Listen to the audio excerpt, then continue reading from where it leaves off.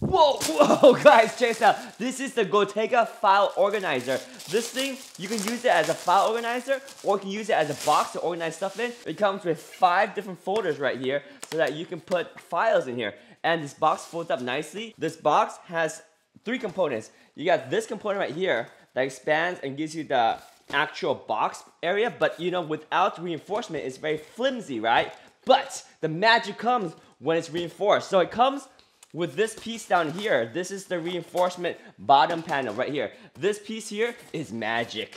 Once you put that piece on, and now the box is reinforced, so it's sturdy. You see that? Nice metal handles on both sides, sturdy with the label here. And then of course, you got the top. So here it is. It's a nice dark gray color. Ooh, it's nice. It's a very nice box right here. Now, if you want to, you can use the included five packs of file organizer and they just go in just like that. These things right here are perfect for storing files, but again, if you don't want to use them for files, you can store pretty much anything in this box and it comes with this nice lid as well. Right here, nice handle, nice holder to use. The Gotega file cabinet right here.